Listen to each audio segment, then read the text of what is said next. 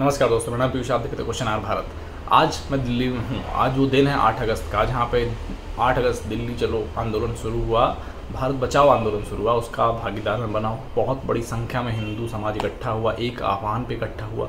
बहुत खुशी हुई मुझे। अश्वनी उपाध्याय जी को तहे से धन्यवाद देना चाहता हूँ। और अगर आप मुझे बताइए, क्या आप आए थे? क्या आप इस मुहिम का हिस्सा बने? अगर बने तो इस वीडियो को ज़रूर कमेंट में बताइए।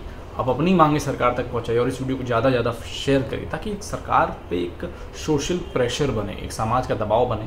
उसको पता चले कि हाँ हिंदू समाज भी एक्टिव है अपनी पॉलिटिक्स में। अगर वो नेताओं को चुनता है तो उन्हें खाली नहीं बैठने देगा, अपनी मांगों से उनको चलाएगा, उनको कंट्रोल करेगा और अपनी मांगे मनवाना उसको आता है। ये शो करिए सोशल मीडिया पर वीडियो उसको शेयर करके। अगर आप अपनी उपस्थिति दर्ज नहीं करा पाए तो भी। उस वीडियो में पूरा बने रहिए। देखिए कैसा जनसलाब आया था। बहुत बड़ी तादाद में आया था। हर कानूनी प्रक्रिया का ध्यान रखा गया। कोरोना प्रोटोकॉल का ध्यान रखा गया, पुलिस दल बहुत बड़ी आबादी में था, उनका ध्यान रखा गया, हर चीज़ का ध्यान रखते हुए इसको अच्छे से संपन्न किया गया। तो आप इस वीडियो को पूरा देखिए, इसको शेयर ज़रूर करिए